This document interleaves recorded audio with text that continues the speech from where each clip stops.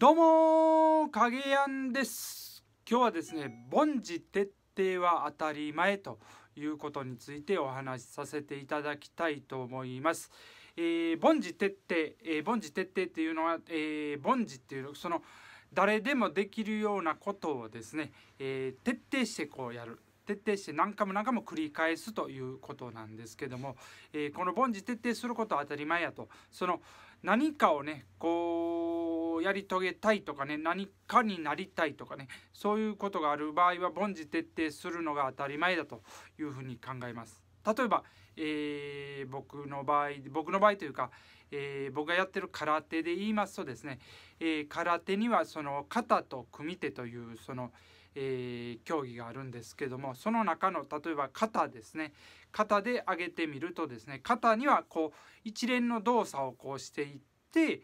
で最終的にその形を型を美しく見せるっていうその演技なんですけども、えーそのね型っていうのはですね、えー一つ一つがねその基本動作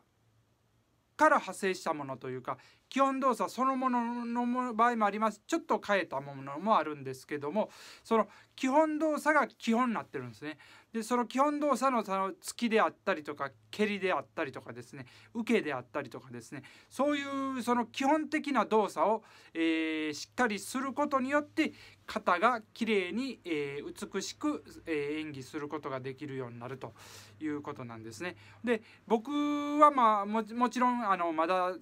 ちょっとまだまだというか、まあ、茶帯にやっとなったところなんでまだまだなんですけどもその、えー基本動作をねこう繰り返す突きやったら突き、えー受けやったら受けと蹴りやったら蹴りそういう動きをこう何回も何回も繰り返すほんで、えー肩をねあのー美しく見せるためにはその基本動作をすること結局凡事徹底をすることっていうのは当たり前のことなんですね。それは肩をこう綺麗に見せるその、えー空手を上達させるためにはそういうことをするっていうのは当たり前のことであってですね、えー凡事徹底をしましょうと、えーこう自分に言うっていうこと自体がもうその何て言うんですかねその当たり前のことなんでそその何て言うか凡事徹底しなあかんでって言ってる状態がちょっと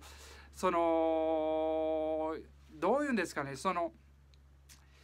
本当にやりたいことをやろうとしてるのかなというふうになってしまいますね。だから僕の中ではその凡事徹底っていうのはもう当たり前と。そういうなんかをこう成し遂げるとかこうやっていくこれからどんどんこう空手を上達させていくためには凡事徹ちょっと切れてしまいましたね。で凡事徹底することは当たり前やということですね。ということでね今日は凡事徹底は当たり前ということについてお話しさせていただきました。では今日もよっしゃーでいきましょう。どうもありがとうございます。